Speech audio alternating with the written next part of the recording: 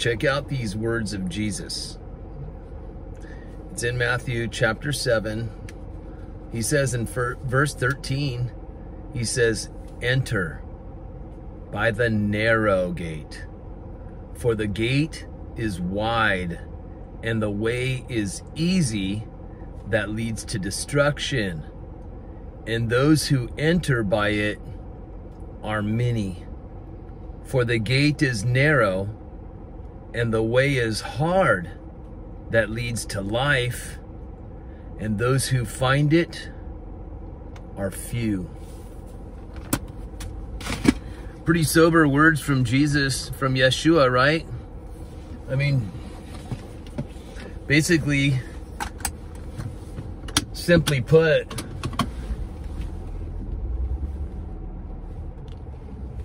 he's saying that many people take the easy path in life, but few choose the one that is difficult.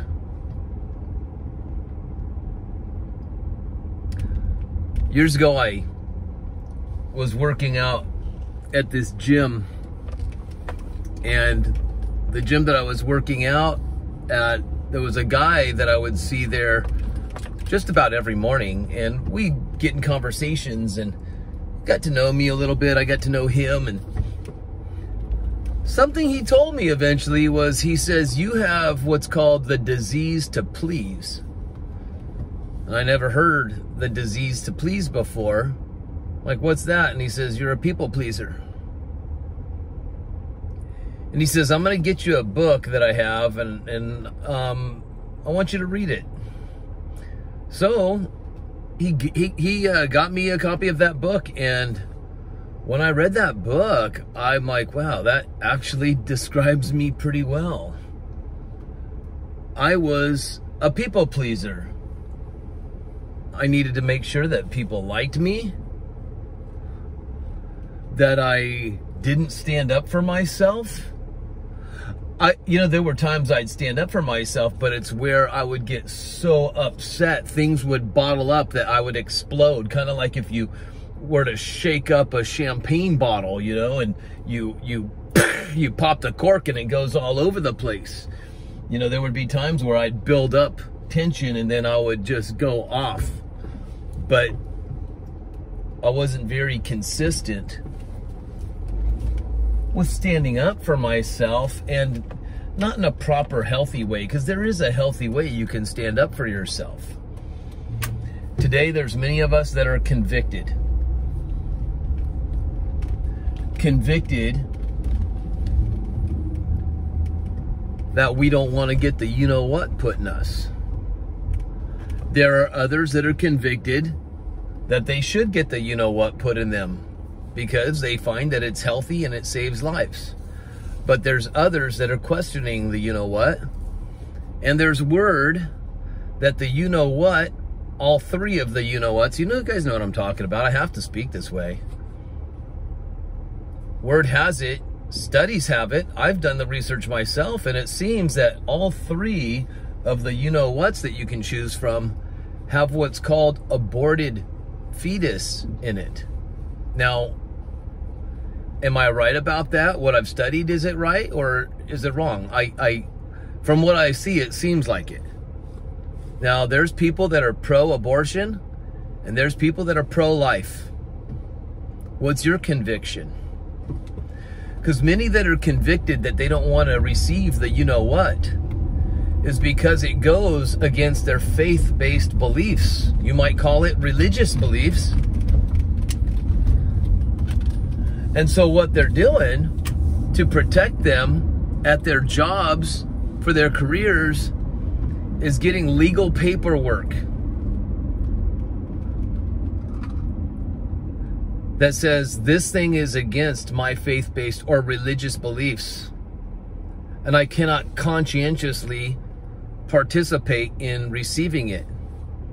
And it's working for many people. There's a woman on YouTube called Patriot Nurse. Patriot Nurse, she's a nurse. And she explains a lot of this legal stuff that, you know, if you need legal documents, you might want to look into it if your conviction is not to receive the you know what. Now, I know a bunch of Christians that I have spoken to that I know personally, and the majority of the ones that I personally know have received the you know what in them. One lady even told me that yes, it does contain aborted fetus, but she says, but it's from a, long, long, long time ago. They're still using the remains of one or something like that. It was just, oh, okay. And if that's her conviction, that's her conviction. Like me, I'm, I'm convicted to go to the gym. I like to go work out at a gym. So I go there almost daily but I don't put my conviction on other people or look down at other people that aren't convicted the same way that I am. Right? It's my conviction. It's personal for me. Just like I have a personal relationship with God. I got out of religion and got into relationship. And I am convicted the way I'm convicted. There's some things that I change my mind on which changing your mind is healthy because if your mind is thinking one way and it needs changing, well, that's metanoia in Greek. That's what the Bible translates to repentance, metanoia, or meta, even metanoeo, which means changing mind, changing the way you think, change the way you think. And I've found myself changing the way I think many times and still needing to change the way I think, especially about things that are weighing me down that I was I'm holding on to. So what the Lord's been helping me with is purging these things out of my life and staying purged instead of being the dog that returns to its own vomit. Because there's things that are unnecessary for me that I'm convicted personally about that I don't want to hold on to or keep on repeating in my life that I need to purge and let them stay purged. And a lot of people are sensing this in these times that we're in right now. The reason I'm talking about people pleasing is because a lot of people want to please others because they're afraid of what others might think of them. And so they may be convicted not to get the you know what, but they do it anyway because they're afraid what people are going to say about them. The persecution that comes, didn't it? Jesus also, didn't Yeshua also say, you will be persecuted on account of my name. You will be hated on account of my name. Because of me, family members are going to turn against you on account of my name. And you might not want that to happen, right? Now, I'm not here to judge or to tell you what you need to do about refusing to get or receiving the you know what today. But I've already lost plenty of subscribers on my channel just because I'm not convicted to get the you know what. And because they have received the you know what they're offended by me even though I haven't put them down. I didn't say it's the mark of the beast. I, I did say I believe that they are preparing us. They are doing a warm-up this is a prelude for us to receive what's coming. Right? You can't go anywhere. You can't buy. You can't sell. You can't go grocery shopping. You can't go to the gym. You can't go to work unless you receive the, the mark of the beast. I'm not convinced that, that th this thing is the mark, but I do believe it is the beginning. They're getting people prepared to receive whatever they throw at you, and they're going to guilt you into it. They're going to fear you into it, and they are going to shame you into it. I don't want to lose people. I don't want to lose family. I don't want to lose my job. And hey, I don't want to lose mine either. Right? But I'm not going to let myself get bullied, and I'm not going to do this people pleasing thing anymore so I can make everybody happy and do what's against my conscience. I mean, listen, you guys. I've shared videos about my dad. Maybe you got to see my dad yesterday. I made a video with him in the video. And many of you guys were praying for him. He was in the hospital for almost a full week. Emergency. He had to get emergency to the hospital. And it just so happened his pulse rate was super low. It was in the 30s and his blood pressure was super high and he thought he was going to die. And this is a man that's not scared of nothing and he was afraid, right? So I had you guys praying and lifting him up in prayer and guess what?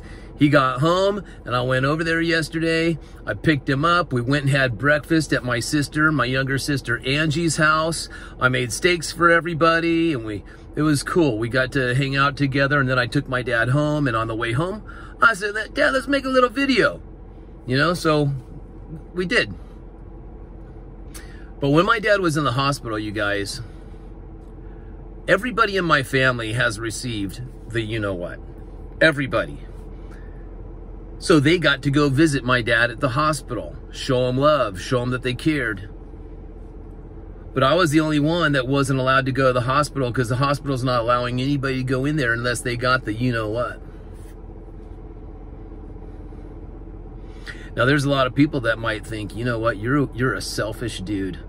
You mean you don't care about your father enough? You could have lost your father in death and never seen him again and never said goodbye to him because you weren't willing to get that you know what put in you. Sacrifice your convictions so that you could show your dad that you love and care about him.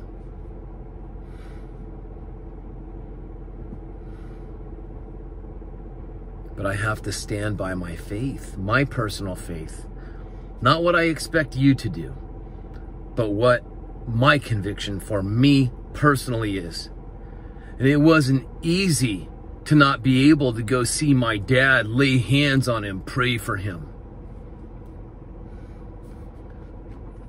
But I couldn't get bullied into it, and I couldn't compromise you guys.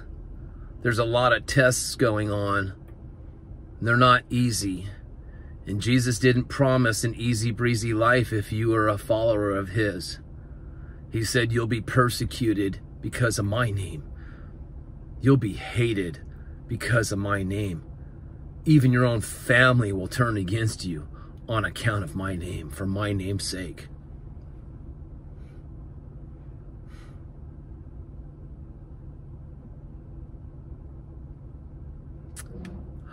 I get a lot of messages quite often from people.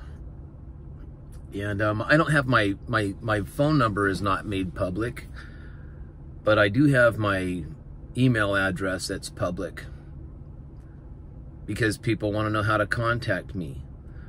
Some people like to give gifts to me how can I gift you? So I have my Venmo and my uh, uh, PayPal that I make public. And it's not because I'm begging or asking for money. People just ask me all the time, so I make it public on my, my videos. I answer a lot of questions on my videos because when I'm driving, I find that's my best way to utilize time because I have a lot of stuff that I have to get done in my personal life. So I get asked a lot of questions sometimes by people that are maybe new to my channel.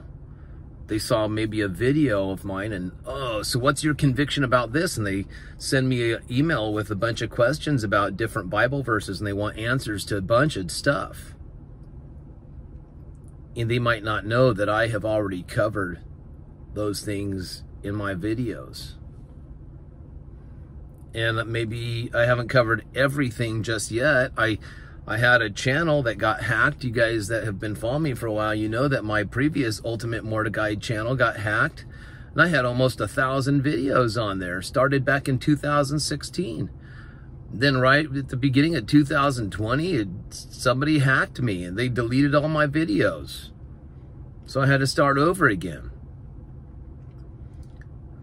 But I try to answer the best that I can. I don't know everything about everything in the Bible and I don't have all the answers to your questions, and I try to answer and respond to emails as quickly as I possibly can. And I try to keep the answers as short as possible, be, not because you're a waste of my time, but just because I have lots of stuff to answer, to reply to, right? And I'm not saying it's a burden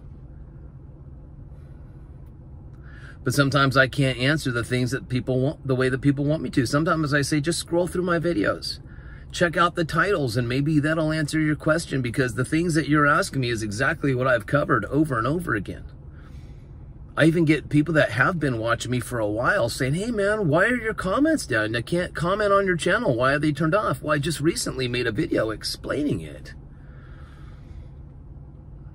You know, YouTube comes to me and they, they, they, they send they send emails and you know there's a lot of rules and restrictions, man. And you get strikes. They were talking about a strike on my channel because of a of a um probably content or something. And they, they even talk about how as a, cre- a, a channel creator, it's my responsibility to keep track of the comments that are even being made. I even have to let YouTube, every time I upload a video, I have to let them know if this video is the content for children or what they call kids, I think. Is it made for kids? And you have to put no. Although there are kids, there are children that watch these videos. I have families that say we all watch them together. Now, if there's comments that are being made that are totally inappropriate, and there are, there, there has been so many. And when I get comments, you know, on the channel, the chat, I get emails that alert me about, oh, there were comments on the channel. And, you know, and I, I try my best to respond to everybody's comment, you know, at least love the comment or like it or respond to it. But right now, the comment section, it's actually because of my life the busyness that I have, I'm in the middle of trying to publish a book. And even the, the publishing company, they're trying to relaunch a book I already published years ago. So I'm going to a new company and they keep sending me, I need to keep, I need all these homework assignments they got me. So every day uh, they've got videos that I need to watch and the videos are long. And that's not counting all the videos I'm sent by my viewers on YouTube. You got to watch this video, watch this video, watch this video, watch this video. I get videos sent to me all day, every day, all day, every day. And people want me to know, did you watch the video yet? How come? What you, what's taking you to so long? You know, and it's like, ugh. So I shut my comment section down. Because you know what? I still want to be able to keep this stuff going on YouTube. And I have to be very cautious the way I say things and I also don't have time to be keeping track of who's making comments and what they're saying in those comments. And there's some believers that say some cuss words that are really bad. And there's people that personally come after me and attack me as well. So I just, it's made my life simpler right now. I shut down the comments and it's maybe offended a bunch of people. Now I've, I've had people unsubscribe and especially because I talk about the you know what. I'm not telling people don't get it or anything. I'm just talking about it because it's what's going on. And there's some people that are very, very offended. How dare you not get the you know what? Are you an anti you know whatter? For me personally, I'm anti this one for myself. What you choose, that's up to you. But for me, for myself, I am. And I share those views because there's plenty of others that are anti that too. So I help, I, hopefully it, it helps them as well to let them know that they're not alone. So I can't people please with everybody. I'm letting you know, you know what? You got it. This is the time you can't people please either. You can't please everybody. On the way to the gym earlier today, there's a car right next to me, this white car right next to me. I'm driving and suddenly I'm watching this car getting closer and closer and closer to my car. I slam my brakes and they're just about to hit me. I mean, I hit my brakes and I, I had to lay on the horn. Wake up! Because they're about to hit my car and that horn did nothing. They barely, it's almost, I was waiting for their car to hit the front of my car. But because I was skidding out, their car didn't hit me and there was no wave of apology from them or nothing. It just kept going. And when I came to, we were coming to a light to turn left, I was in the left lane. They were in the right lane next to me. And when I pulled up to the light, I'm looking over, not to like be mad dogging or nothing like that. My windows are kind of dark anyway, so I don't think they can see me. I was just like, did something wrong? Did somebody fall asleep? I'm, it was like they were, they had must have fallen asleep and the person was staring at their cell phone didn't even acknowledge that they had gotten honked at and that they had swerved in and, and almost smashed into my car. If I was not paying attention, I would have been in a car accident earlier today. Was it mean of me to honk on my horn? Oh, you noise pollution guy? No. I was alerting them. I was doing them a favor. Do you understand that? And if that wasn't people pleasing them, oh, that jerk honking at me, what's wrong with him? Uh? Huh. That's their problem. But I wasn't doing it to be a hater. I was doing it out of love, honestly, because they could have lost my their life. There could have been something bad that happened. Who knows? So you got to stand up for yourself, you guys. You don't have to do it mean. Sometimes I know we retaliate. I retaliate sometimes too, and I get angry, and you, it's like you just blow up. I don't want to be that way, of course, you know. Trying to practice patience and practice love and all that stuff. But I'm telling you, man, if you're convicted today, people are going to turn against you, and they already are. And there's persecution going on around the world against Christians like you wouldn't believe right now. They are being slaughtered.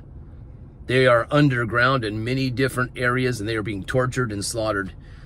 And if you're caught practicing your faith, they're coming after people that are believers, my friends. We got to stay strong in these times and we can't kowtow. We can't bow down to them and say, You're right. I cave in. I know. Easier said than done. Oh, God. We got to rely on the strength of the Lord, you guys, and stand by what He has convicted you of. You might be convicted because you're a religious person and you might say, well, I stand for my false religious belief. You don't believe it's false. I came out of false religion, so I know what I'm talking about. What I was convicted of before, the Lord Jesus woke me up from that and I followed. It was like he was knocking on the door of my heart and I finally let him in. Anyway, I just hope this message has been a blessing to you. You don't got to be a people pleaser like that book that book that guy gave me that said you got the disease to please. I think that's probably a lot of us. But you also don't need to be a jerk as well. You know what I'm saying? You got to find some proper balance there. But even Jesus says, you're going to be hated because of me and that road to life it's not it's not easy breezy it's narrow it's difficult that other road that's the one that the majority is taking because it's so easy to follow you know what i'm saying i choose the road that's narrow and difficult what about you God bless you guys. I love you. Thanks for watching. Thank you so much for your prayers for my dad, and he appreciates them too. And uh, I'll see you again in the next video.